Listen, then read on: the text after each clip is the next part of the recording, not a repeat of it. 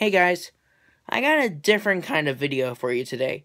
My cousin made this picture, and it's saved on my iPad just because she posted on Facebook and I don't have the original.